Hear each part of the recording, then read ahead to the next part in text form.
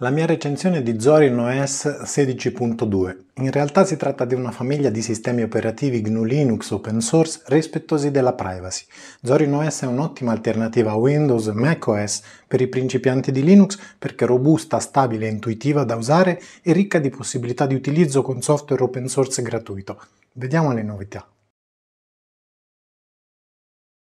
Ciao da Dario di Alternativa Linux. Di Zorin OS ho già parlato ad agosto 2021 nel blog e nel video con la recensione di Zorin OS 16.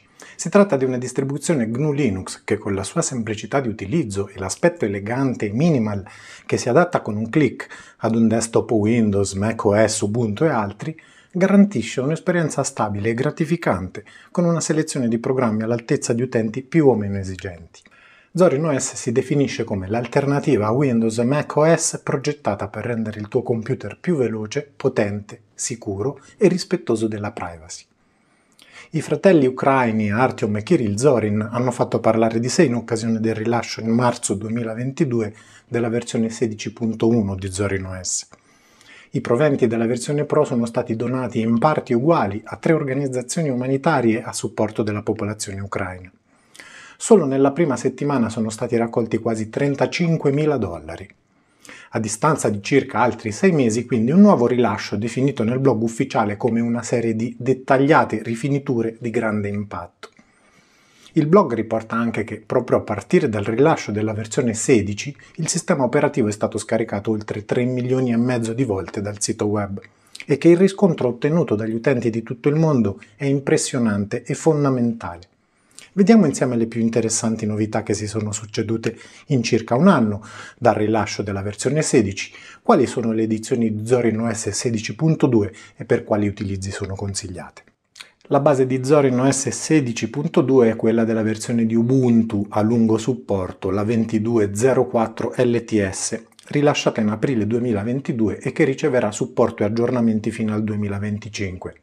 Il kernel scelto per il rilascio è quello 5.15 e garantisce ottima stabilità e supporto per hardware recente come schede Nvidia inclusa la GeForce RTX 4090, schede grafiche AMD Radeon e Intel, portatili con Intel di dodicesima generazione e molte altre periferiche Wi-Fi, Bluetooth e audio.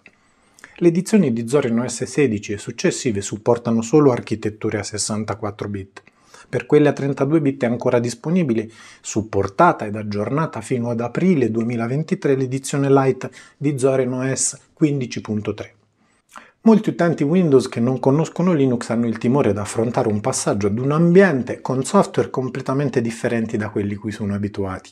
Pochissimi di questi utenti sanno che la stragrande maggioranza dei programmi rilasciati per ambiente Windows è installabile ed utilizzabile anche in ambiente Linux grazie al sistema di emulazione Wine questo software consente di eseguire file .exe e di installare programmi destinati a Windows. In Zorin OS, a differenza di tante altre distribuzioni GNU Linux, il software di emulazione Wine è integrato nell'installazione e preconfigurato. L'articolo ufficiale sul rilascio di Zorin OS 16.2 ci spiega che il meccanismo è stato ulteriormente perfezionato. Apri il menu, cerca installazione app Windows e attiva Wine con un clic. Successivamente fai semplicemente doppio clic su un file .exe per Windows e sei in grado di avviare e installare, se non tutti, moltissimi programmi. Zorin OS affianca all'emulatore Wine preconfigurato un database di applicazioni e giochi popolari per Windows. Questo consente di integrare soluzioni per riconoscerli al momento dell'installazione e sfruttare particolari configurazioni per farli funzionare a dovere anche in ambiente Linux un ottimo modo per attrarre utenti verso un sistema operativo intuitivo e facile da usare, con l'eleganza minimale di un desktop e di un aspetto adattabile con un clic a rispecchiare Windows, Mac ed altre cosiddette metafore desktop.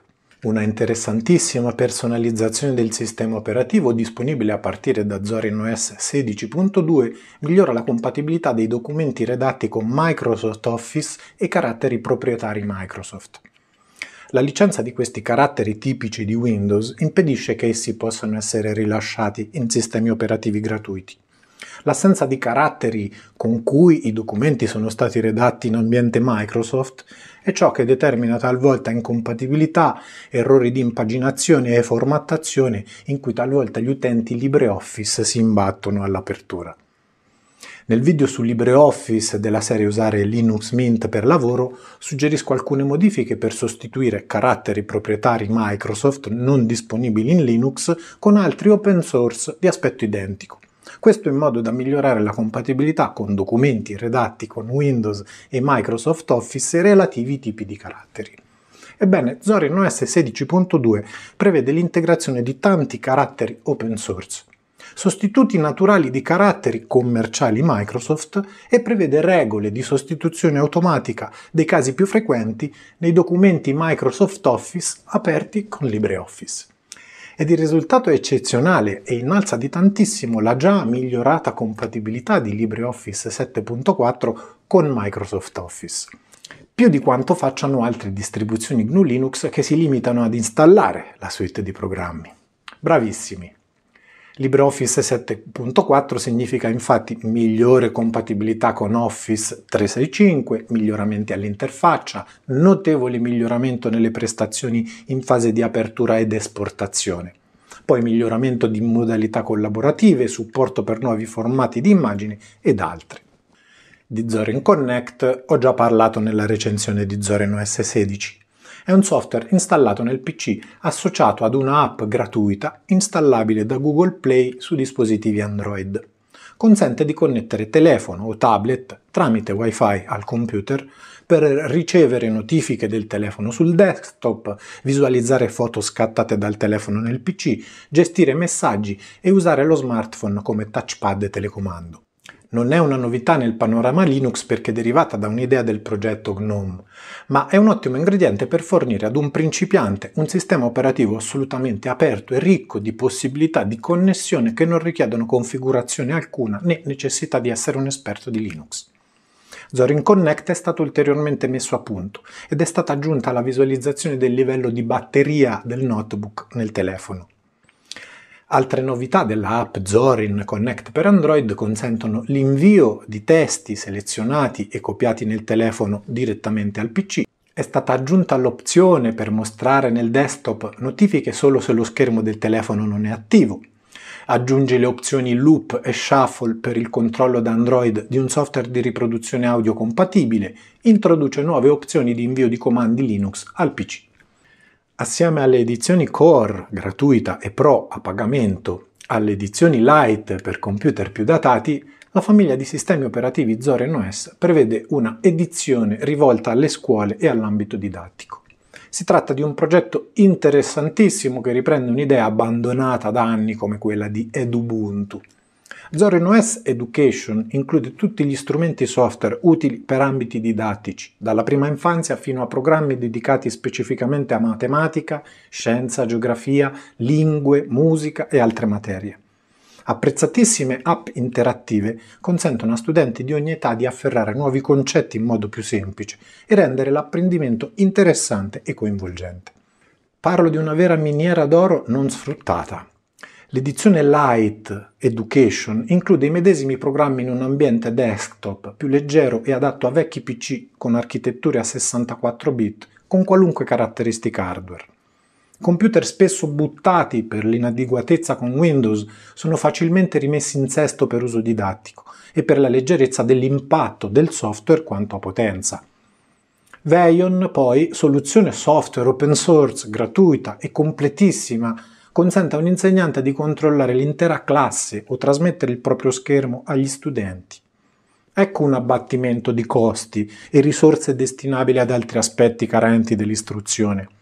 Con la quantità di denaro speso oggi in licenze di software proprietari sarebbe una boccata d'ossigeno il codice dell'amministrazione digitale è praticamente inapplicato quanto all'obbligo dell'articolo 68 per i dirigenti del settore pubblico di scegliere software proprietario e a pagamento solo se altre opzioni non si dimostrano adeguate. Province che spendono milioni di euro annuali per licenze Microsoft nelle scuole quando ci sono sistemi operativi già pronti all'uso a fine installazione, supportati, aggiornati continuamente, gestibili in numero da remoto e pronti per l'educazione del nuovo millennio. Ne parlerò prossimamente. Dai un'occhiata alla mia video recensione di Zorin OS 16 per conoscere i dettagli delle applicazioni specifiche preinstallate nell'edizione Education. Nella versione 16.2 molte sono le novità proprio per quanto riguarda gli strumenti educativi, tra cui l'inserimento del software G-Develop, un software completo per la realizzazione di videogames che non richiede la conoscenza di codice di programmazione e che permette agli studenti di assecondare la propria creatività e siccome molte cosiddette estensioni per il desktop GNOME sono compatibili con Zorin OS Core Pro ed Education, va segnalata Reading Strip. Funziona come guida alla lettura per computer ed è davvero utile per le persone affette da dislessia.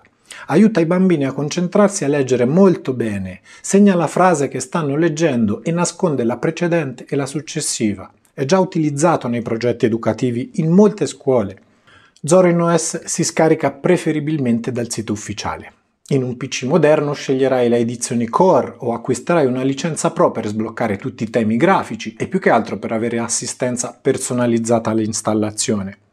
I programmi preinstallati nella Pro sono open source, gratuiti e installabili comunque nella Core. In un PC più vecchio potresti scegliere una delle edizioni Lite.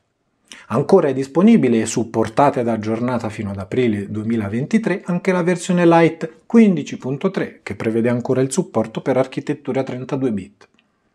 A seconda dell'edizione scelta, le immagini ISO possono variare da circa 2,6 GB della Lite agli oltre 5 GB della Pro e della Edu e questo influenza i tempi di installazione.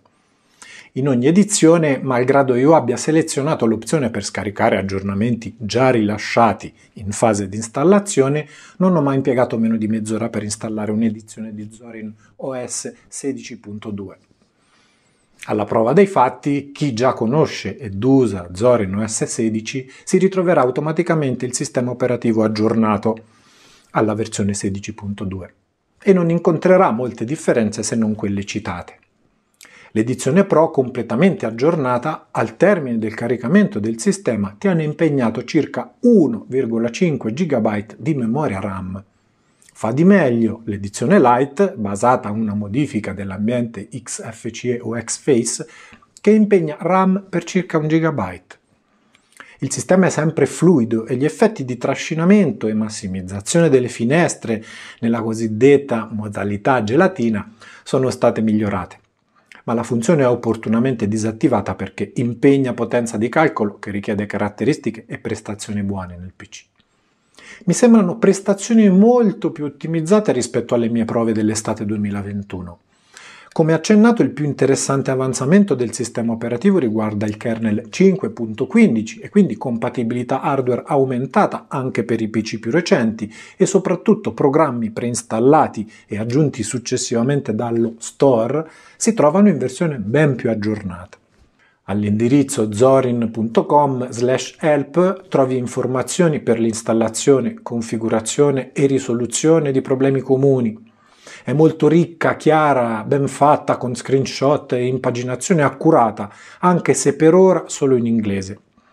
Trovi anche l'accesso al forum degli utenti o al supporto che si ottiene con l'acquisto della versione Pro. Per ulteriori informazioni su questa valida distribuzione GNU Linux ti segnalo nuovamente la mia recensione di Zorin OS 16 non sono stato ripetitivo in questo video, quindi se vedi anche quello ti fai un'idea completa del sistema operativo oggi. Altre informazioni su Zorin le trovi nel video migliori distribuzioni Linux per principianti 2021. Ne sto per preparare uno nuovo con le distribuzioni che consiglio a chi Linux non l'ha mai provato. Zorin OS non mancherà di certo. Grazie per aver visto il video e a presto per la recensione di Linux Mint 21, le distro migliori per i principianti per il 2023 e le distribuzioni Linux più leggere.